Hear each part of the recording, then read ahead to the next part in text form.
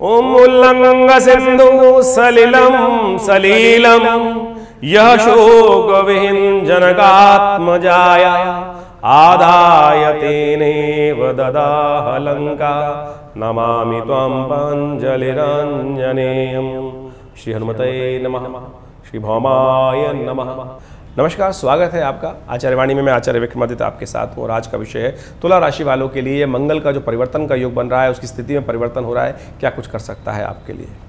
देखिए, तुला राशि वालों, आपकी राशि जो है, बहुत ही महत्वपूर्ण राशि है। जस्टिस वाली राशि है, न्याय वाली राशि है, और आपका एक स्वभाव है कि हर चीज़ को न्याय के अनुसार तोलना, किसी के साथ भी गलत ना होने की भाव रखना, ये आपके मनोमस्तिष्क में आमतौर पर यदि आपका लग्न राशि प्रभावी है तो इस प्रकार का आपका मनोमस्तिष्क हो सकता है कि हर चीज़ को बैलेंस हर एक के साथ में न्याय करने की प्रयास करो। लेकिन समस्या यह है कि आप हर एक के साथ न्याय करने की बात करते हैं, लेकिन खुद के साथ भी उतनी बढ़िया न्याय कर नहीं पाएँगे, ये विडंबना आपके साथ बनी रहेगी। तो ऐसे में अब मंगल का परिवर्तन होने जा रहा है, मंगल महाराज, बहुत वर्षों बाद इस प्रकार का योग बना रहे हैं कि काफ़ी लंबे समय तक मंगल रहेंगे अस्त अस्त का मतलब है निस्तेज रहेंगे। मंगल शक्तिहीन हो जाएँगे। मंगल की शक्ति कम हो जाएगी, उसका प्रभाव विशेष प्रकार से नेगेटिव प्रभाव उत्पन्न होगा। ऐसे में मंगल क्या कुछ कर सकते हैं, आपको समझने की आवश्यकता है। आप विशेष तौर पर ध्यान रखें कि मंगल का जो परिवर्तन का योग चल रहा है, अस्त हो जाएँगे, सूर्य के 17 डिग्री के सन्निकट आ जाएँगे 17 डिग्री में मंगल अस्त हो जाते हैं और जब तक 17 के डिग्री में इधर या उधर रहेंगे, तब तक वो अस्त ही रहेंगे, यानी दिखेंगे नहीं। उनका प्रभाव शून्य दिखाई देगा। ऐसे में मंगल का प्रभाव जो है वो विशेष तौर पे आपको समझ लेना चाहिए, आपकी राशि में क्या पड़ने वाला है। मंगल साक्षात शिव के अवतार विश्ववीर भद्र हैं, जो भगवान के पसीने से, पृथ्वी पर गिरने से उत्पन्न हुए थे और उन्होंने दक्ष का यज्ञ विध्वंस किया था। उसके बाद भगवान शिव के आशीर्वाद से वो आकाश मंडल में थे। मंगल का जन्म माना जाता है अंगारक चतुर्थी के दिन, मंगलवार और चतुर्थी का जब हो संयोग हो, तब मंगल मंगल वीरभद्र है, धरती पुत्र है और भगवान शिव के अंश से उत्पन्न हुए हैं तो मंगल बहुत शुभ ग्रह हैं मंगल कारक ग्रह हैं इस बात का ध्यान रखें। मंगल साहस के प्रतीक हैं। तो कुछ लोग मंगल के लिए विभिन्न प्रकार की बातें उत्पन्न करते हैं कि मंगल आ, मंगल सेनापति हैं साहस के प्रतीक हैं। अगर मंगल कमज़ोर हो जाए तो यानी आपका साहस आपका साथ छोड़ सकता है। आपकी हिम्मत थोड़ी कम हो सकती है। आपके अंदर जो आगे बढ़ के काम करने की इच्छा है वो कम हो सकती है। भाग्य के खेल बिगड़ सकते हैं इस बात का ध्यान रखिए। मंगल आपकी राशि के अनुसार से कहाँ के स्वामी हैं? सप्तम के और द्वितीय के। सप्तम भाव विशेष तौर पे दाम्पत्य जीवन का भाव माना जाता है, जीवन साथी का भाव माना जाता है, व्यापार का भाव माना जाता है। वहीं द्वितीय भाव धन का, परिवार का, कुटुंब का भाव माना जाता है, व्यापार का ट्रेडिंग का भाव माना जाता है। और तो और मारक भाव भी माना जाता है। आपका विशेष तौर पर मार्केश मंगल है, ऐसा भी ग्रह योग दिखाते हैं। और द्वितीय स्थिति में तुला राशि वालों को बहुत ज़्यादा सावधान रहना चाहिए मंगल के अनुसार से। तो इन दिनों सबसे पहले तो ध्यान रखें गाड़ी वाड़ी बहुत सोच समझ के चलाएँ, सावधान चलाएँ। आप आलस आलस आ सकता है, थोड़ा से हल्की सी कुताही बरतने से नुकसान हो सकता है आपके विशेष तौर पर साहस का प्रतीक।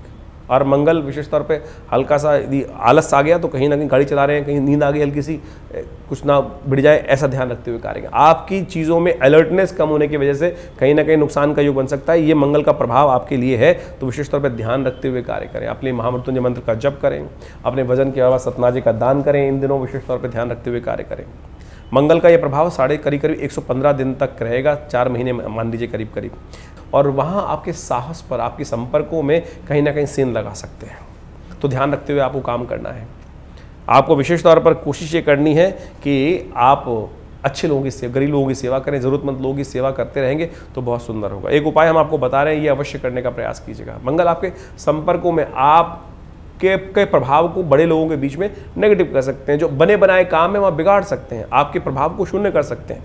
आपकी अच्छी सेंध को, अच्छी जो, आपका जो परसोना बना हुआ है लोगों के बीच में, उसको खराब करने का प्रयास कर सकते हैं। चरित्र पर लांछन लगाने का प्रयास कर सकते हैं। ध्यान रखिएगा। संबंधों को ठीक रखने का प्रयास कीजिएगा। कहीं ना कहीं कैरेक्टर पे कोई प्रश्न चिन्ह लगने के योग बन सकते हैं। इस बात का आपको विशेष तौर पर ध्यान रखने का प्रयास करना है। गरीब परित्यक्त स्त्रियों की सेवा करने का प्रयास कीजिए। किसी कोई रास्ते में कोई भिक्षुक मिल जाए तो उसको कुछ जो अपने सामर्थ्य कर सकते हैं, वो करने का प्रयास कीजिए। हो सके तो शाम के समय भगवान शंकर के मंदिर में जाकर उनका थोड़ा अभिषेक कर लिया कीजिए। ये बहुत सुंदर उपाय है, इसके द्वारा मंगल का प्रभाव आप नेगेटिव प्रभाव जो है वो कम कर सकते हैं। तीन अक्टूबर से लेकर सत्रह नवंबर तक मंगल जो है वो तुला राशि में रहेंगे। आपकी मेन मुख्य राशि आपके लग्न में उसका प्रभाव उत्पन्न रहेगा। ऐसे में विशेष तौर पर समस्या उत्पन्न कर सकते हैं, आपके दांत संबंधी रोग दे सकते हैं सबसे पहले तो। दांतों का विशेष तौर पर ध्यान रखने का प्रयास कीजिए। अननेसेसरी के दांतों के संबंध पेट ठीक रखने का आपको प्रयास करना चाहिए। आपको व्यापार में कुछ ना कुछ कष्ट देने के योग दे सकते हैं तो व्यापार को ठीक रखने के लिए आपको लगातार अलर्ट रखना पड़ेगा अपने आप को। आपकी भाषा में कोई नेगेटिव बात नहीं आनी चाहिए।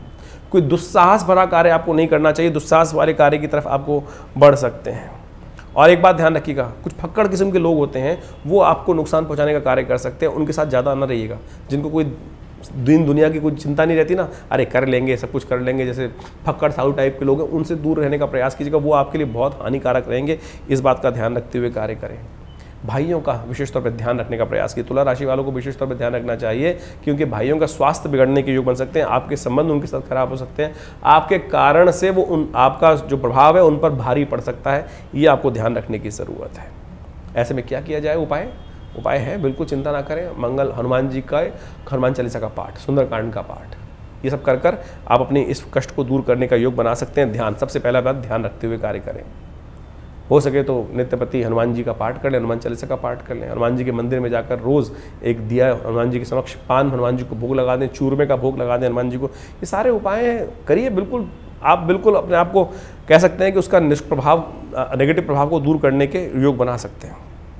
सत्रह नवंबर से लेकर अट्ठाईस दिसंबर तक मंगल आपके मारक भाव में चलेंगे, द्वितीय भाव में चलेंगे। ये आपके स्वास्थ्य के दृष्टिकोण से समस्याएँ उत्पन्न कर सकते हैं।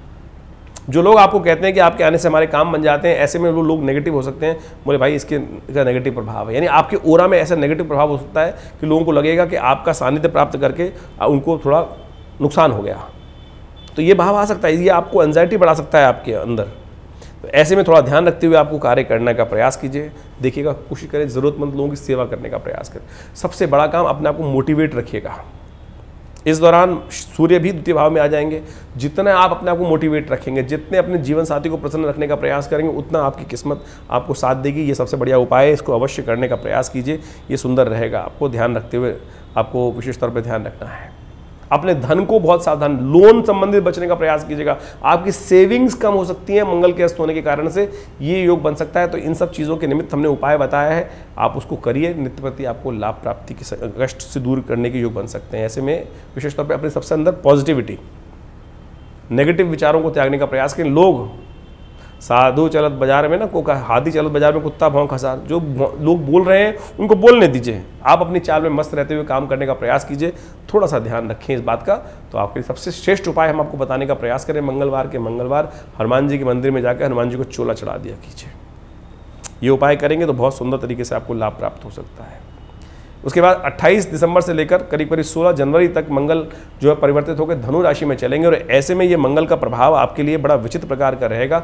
स्वास्थ्य पर इसका प्रभाव गलत हो सकता है। आपका मोटापा बढ़ सकता है, आपकी स्किन डिसीज रक्त संबंधित बीमारियाँ आपको परेशान कर सकती हैं।